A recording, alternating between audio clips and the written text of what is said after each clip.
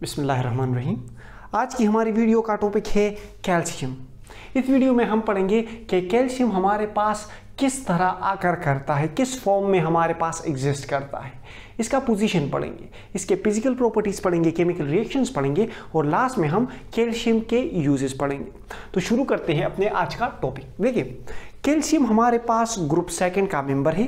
Group second को हम alkaline earth metals कहते हैं। सो हम कह सकते हैं कि कैल्शियम हमारे पास अल्कलाइन अर्थ मेटल्स का एक मेंबर है।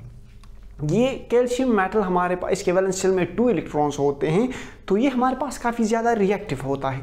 इसलिए ये हमारे पास फ्री स्टेट में एग्जिस्ट नहीं कर सकता। Because of high reactivity it do not occur in free state ये हमेशा हमारे पास कंबाइंड फॉर्म में रहेगा। अब कंबाइंड फॉर्म में हमारे पास किस तरह रहेगा? ये कंबाइंड फॉर्म में रहेगा in form of calcium carbonate calcium carbonate की फॉर्म में लाइमस्टोन जिस तरह हमारे पास चूना होता है मार्बल जो हम यूज़ करते हैं, चाक जो हम यूज़ करते हैं, उसमें भी हमारे पास कैल्शियम कंबाइंड फॉर्म में रहता है।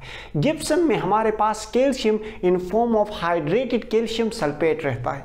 कैल्शियम सल्फेट के साथ हम जब हम वाटर वाटर मिल जाता है और एक क्रिस्टल बन जाता है, जिसे हम कह सकते कहते हैं गिप्सम उसमें भी हमारे पास कैल्शियम कंबाइंड फॉर्म में रहता है। अच्छा इसकी अगर पोजीशन की बात करें तो कैल्शियम हमारे पास पीरियड फोर्थ का सेकंड मेंबर है। कैल्शियम के का स्ट्रक्चर अगर आप ड्रॉ कर लें तो कैल्शियम में हमारे पास फोर शेल्स हैं तो ये पीरियड फोर का सेकंड मेंबर है। और ये ग्रुप सेकंड में लाई करता है ग्रुप सेकंड में ये थर्ड नंबर पर लाई करता है। ये ग्रुप सेकंड का थर्ड मेंबर और पीरियड फोर का सेकंड मेंबर है। अच्छा बात है इसके फ़िज़िकल प्रॉपर्टीज़ की तरफ़। इसकी जो अपेयरेंस होती है कैल्शियम की, वो होती है सिल्वरी वाइट ये कैल्शियम जो मेटल होता है it is a silvery white solid इसकी जो डेंसिटी होती है, ये लो होती है और इसकी डेंसिटी होती है 1.7 ग्राम पर सेंटीमीटर क्यूब इसका मेल्टिंग पॉइंट होता है 851 डिग्री सेंटीग्रेड और इसका बॉइलिंग पॉइंट होता है 1487 डिग्री सेंटीग्रेड ये मेटल है तो इसकी मेलिएबिलिटी और डक्टिलिटी भी होगी और इसकी कंडक्टिविटी भी होगी। सो so, अगर इसकी मेलिएबिलिटी और डक्टिलिटी की बात करें तो we can say that it is quite malleable it can be drawn into sheets and it can be drawn into wires it is a good malleable and ductile calcium से हम आसानी से तारे और शीट्स बना सकते हैं। और it is a good conductor of heat in electricity और ये हमारे पास हीट uh, और इलेक्ट्रिसिटी का एक गुड कंडक्टर होता है, एक बेहतरीन कंडक्टर होता है। इसकी अगर केमिकल रिएक्शंस की तरफ़ आए हम तो कैल्शियम हमारे पास, अगर कैल्शियम का रिएक्शन हम हाइड्रोजन के साथ स्टडी कर लें तो कैल्शियम हमारे पास हाइड्रोजन के साथ डायरेक्ट रिएक्शन कर लेता है और हमारे पास कैल्शियम हाइड्राइड्स बना लेता है। अपने रिस्पेक्टिव हाइड्राइड्स बना लेता है। कैल्शियम हमारे पास ऑक्सीजन के साथ रिएक्शन करके कैल्शियम ऑक्साइड बना लेता है और साथ ही हमारे पास रेड फ्लेम प्रोड्यूस होती है। फिर यही कैल्शियम ऑक्साइड हमारे पास ऑक्सीजन के साथ रिएक्ट करके बेसिस बनाता है। सो so, कैल्शियम हमारे पास ऑक्सीजन के साथ रिएक्शन करके कैल्शियम ऑक्साइड बनाता है फिर यही कैल्शियम ऑक्साइड वाटर के साथ रिएक्शन करके बेसिस बनाते हैं हमारे पास। ये अगर कैल्शियम का रिएक्शन हम नाइट्रोजन के साथ स्टडी कर लें, कैल्शियम हमारे पास नाइट्रोजन के साथ रिएक्शन कर लेता है और हमारे पास बना लेता है C A three N two ये कैल्शियम नाइट्रोजन के साथ रिएक्शन करके अपने रिस्पेक्टिव नाइट्राइड्स बना लेता है। अब अगर कैल्शियम का रिएक्शन हम एसिड्स के साथ स्टडी कर लें तो कैल्शियम हमारे पास एसिड्स के साथ रिएक्शन कर लेता है और हमारे पास हाइड्रोजन गैस रिलीज़ कर लेता है।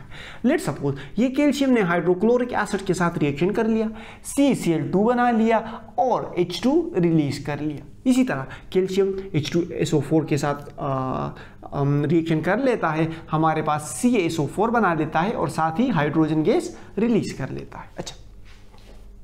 इसी तरह कैल्शियम का रिएक्शन अगर हम हेलोजेंस के साथ स्टडी कर ले, जो ग्रुप सेवन के मेंबर हैं तो कैल्शियम अपने हेलोजेंस के साथ रिएक्शन कर लेता है और हमारे पास रिस्पेक्टिव हेलाइड्स बना लेता है। मतलब कैल्शियम ने क्लोरीन के साथ रिएक्शन कर लिया तो कैल्शियम क्लोराइड बन गया। अब कैल्शियम ने ब्रोमीन के साथ रिएक्शन कर लिया तो इसी तरह कैल्शियम ब्रोमाइड बनेगा। रिएक्शन बिल्कुल इसी तरह होगा। अगर इससे रिलेटेड आपको कोई भी क्वेश्चन हो तो कमेंट सेक्शन में पूछ सकते हैं। अब आते हैं इसके यूज़ की तरफ़।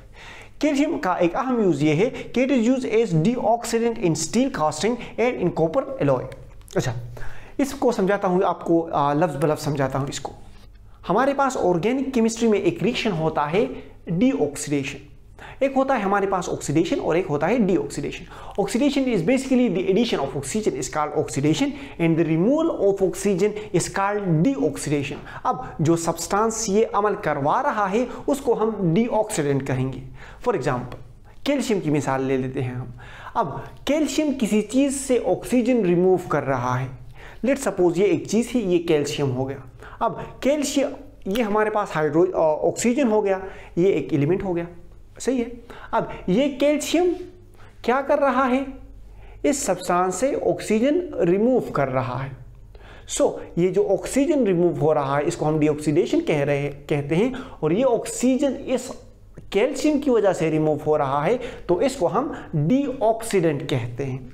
So calcium is use as deoxiding deoxidant in steel casting and in copper alloys steel casting basically हमारे पास हम मेटल को मेल्ट कर लेते हैं और हमने एक फ्रेम सा स्ट्रक्चर बनाया हुआ होता है, फिर उसी मोल्टन मेटल को हम उस फ्रेम में डाल लेते हैं और वो स्ट्रक्चर जो हमने, जो स्ट्रक्चर बनाया हुआ होता है, वो बन जाती है। आपने अक्सर वीडियोज़ में देखा होगा कि सैंड में एक स्ट्रक्चर बना लेते हैं, फिर उसमें वो मोल्टन मेटल डाल लेते हैं तो वो मोल्टन मेटल उस फ्रेम की शक्ल इख्तियार कर लेता है। इसको बेसिकली हम कहते हैं स्टील कास्टिंग अच्छा और ये हमारे पास डीऑक्सीडेंट यूज़ होता है कॉपर अलोइज में भी। अच्छा अब आते हैं अपने नेक्स्ट इसके नेक्स्ट यूज़ की तरफ़। It is use in formation of calcium fluoride calcium hydrides and extraction of uranium ये कैल्शियम हमारे पास कैल्शियम फ्लोराइड कैल्शियम हाइड्राइड्स और यूरेनियम के एक्सट्रैक्शन में यूरेनियम को अलग करने में हमारे पास